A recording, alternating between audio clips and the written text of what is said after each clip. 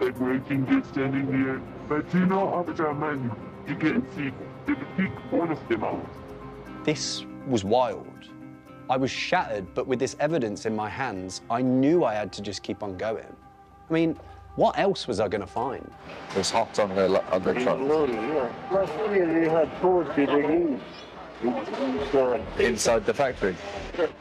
Wow. I mean, it seemed like Amazon were hotter on surveillance than health and safety, as I was about to find out. Can I just have a quick chat with you? Yeah, sure. There is a window right back. Yes.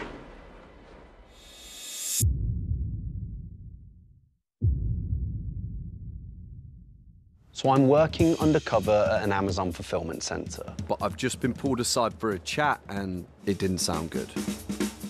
And I wanted to chat with you um, because I noticed, I mean, my, my L&D neighbor has noticed that you share a significant resemblance with some of the person that is called, I'm not very familiar with them, Omar Matai.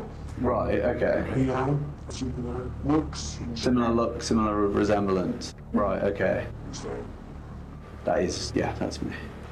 Okay. Obviously, I'm not familiar with your shows or whatever you're doing. You wig and the glasses that make you it's a bit more expert. What? I can see it's a wig. It's not a wig. it's not a wig. It could dye your hair. Yeah. In what seemed like no time at all, Amazon had monitored and identified me. They'd clearly done their research and were quick to ask me. You didn't know about the confidentiality agreement that he signed. Yeah. Yeah. I needed to get out of there before they found my camera and all of the intel that I'd gathered. I should leave now, basically. Why? Because I'm, because it's, yeah, I need to go now. Thank you. You want to voluntarily leave it, so. Yes.